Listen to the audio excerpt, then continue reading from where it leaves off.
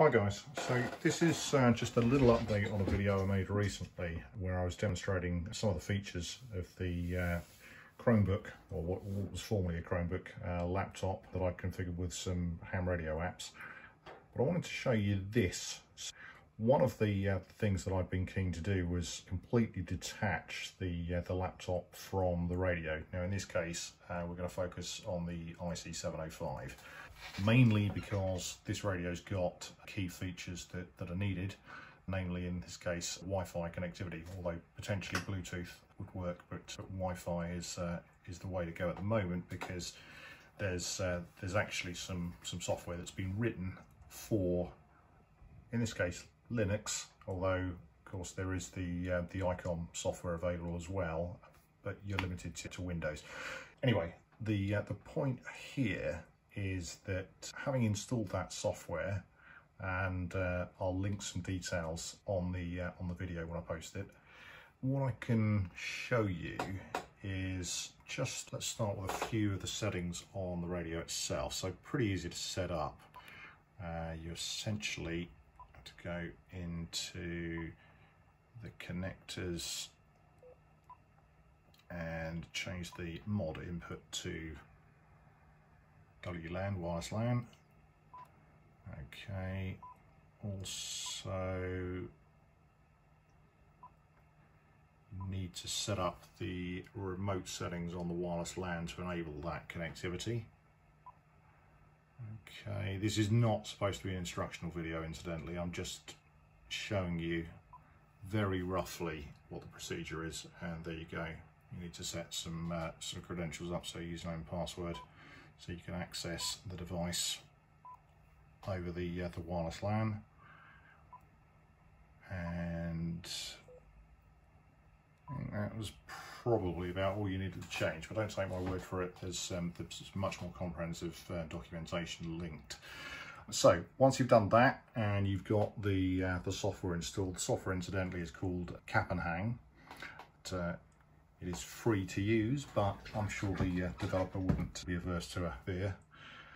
So I've already got it all installed and configured on this laptop. We'll come on to some of the current limitations, not necessarily with the software, in some cases with the way that the, uh, the radio works in a second. But for now, I just want to show you this. So, laptop, free as bird, no cables. Okay, so there's, there's no USB or any other connection between the laptop and the radio. So we come back to the laptop for a second. So you can see here that um, it's registering the frequency which is reading from the radio's VFO A in this case, but whichever the current VFO was is, is what it's going to read.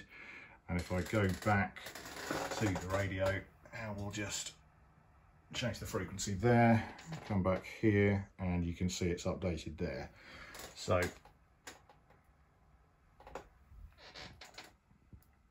RigCTL or HamLib is working, but in this case over the virtual serial port, and I say port, not ports, so that's one of the little gotchas, over the Wi-Fi connection. Now, a couple of gotchas. The first one that I'll mention is currently there doesn't appear to be any way to connect to a secondary serial port to um, to get a feed for the GPS as you could do if you were connecting uh, directly via a cabled USB connection. So if you want the GPS fix or you want to use it for time sync, not an option at the moment, but I do have a call in with both the uh, developer and with um, with ICOM UK to see if we can do anything on that front. At the moment, I'm just using a, a GPS dongle, uh, which does does the trick. It's not quite as sensitive, it has to be said, as the, uh, the GPS built into the radio. So as a stopgap, that's fine. And generally, once you've got your fix and uh, you've synced your time, you could probably disconnect that anyway. So it's not a showstopper, but it would be nice to uh, to be able to use the uh, the GPS built into the radio because it is very sensitive. Even inside, it gets a fix literally within a few seconds.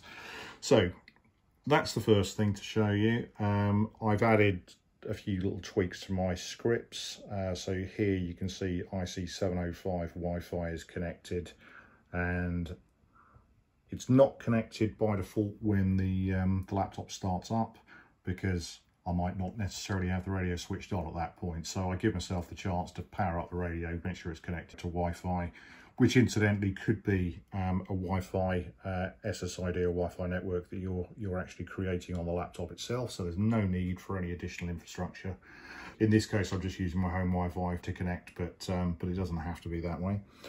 Okay, we've already gone through the uh, the reset. You've seen that on the previous video. Uh, if you haven't, I'll link that to uh, to this one when I post it up. So let's just show you this. So if I go into Startup FL Digi, okay, you can see that's currently on 14070. If I flick the frequency up, we can see that that's changed on the radio. So that's clearly demonstrating the, uh, the cat control working. There we go, switch it back. And we'll just make sure that I've got the, uh, the monitor on the radio so we can hear the audio going out. Turn that up just a fraction. Okay, and we'll click tune. There we go, and we can see that the PTT is engaged on the uh, on the radio, and um, the audio is going out via the virtual audio port there. Okay, that's fine.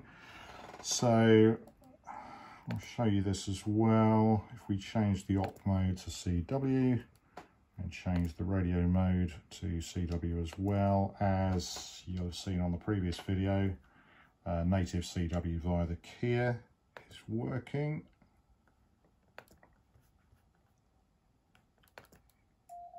There we go.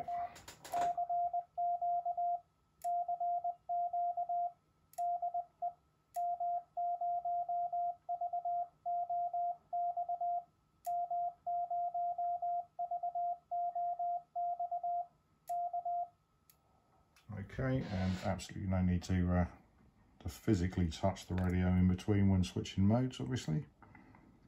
So we'll just pop that back onto PSK 31 and change the mode back to USB D. Okay, and back to PSK 31. Actually, take on this one. Okay, and will change the filter width as well. Okay, and again, just to demonstrate the point, there you go. So we're back on PSK 31 or any other mode that you wanted to use.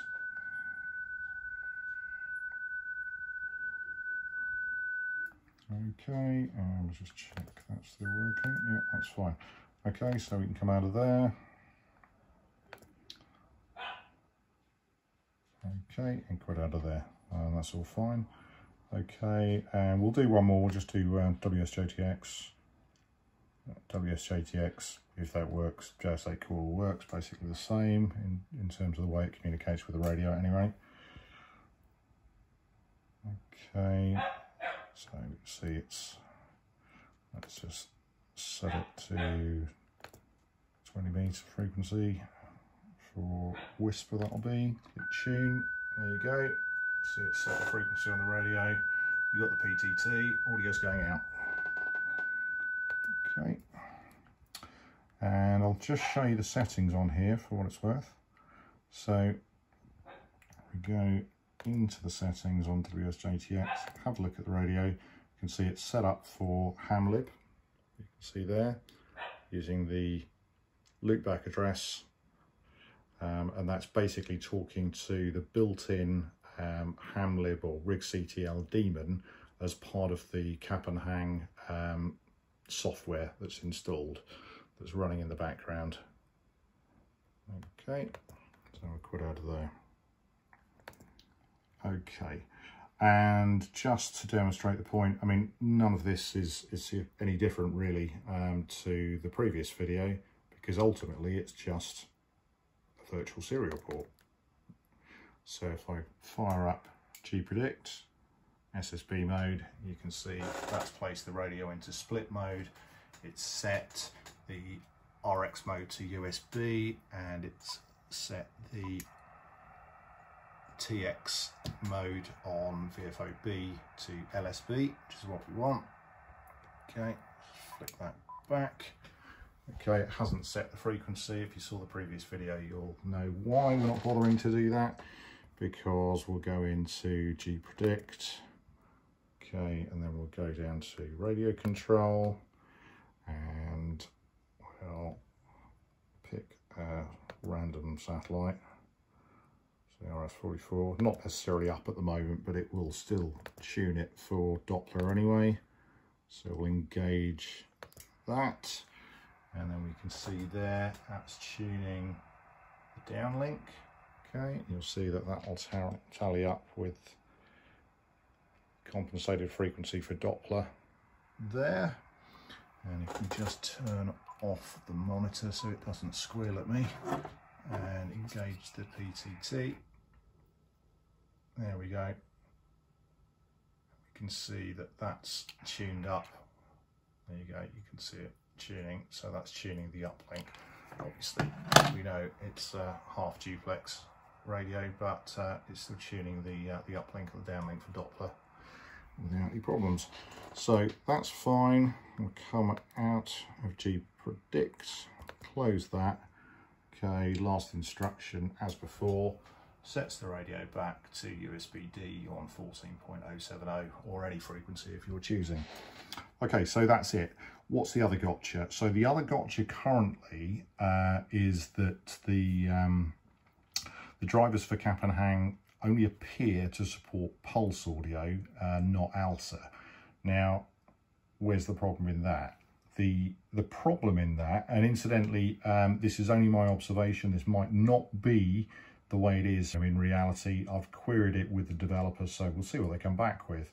But the point being, if you can't get it to work with ALSA, then some other products uh, like Direwolf, for example, or potentially ARDOP, uh, won't work. Unless anyone's already done it, in which case, by all means, tell me how you got around the problem. Be very interested. So if you can post in the uh, the comments, that'd be great. So at the moment, that's the one thing that I've been unable to get working detached, other than the GPS that we've already spoken about which is not a showstopper, but it would be nice because that would then give the ability to work AX25, WinLink, whatever else. So, um, so there you go. Anyway, it was only a quick update. Hopefully that's that's useful, and uh, as things progress, I'll keep you posted. Thanks, chaps.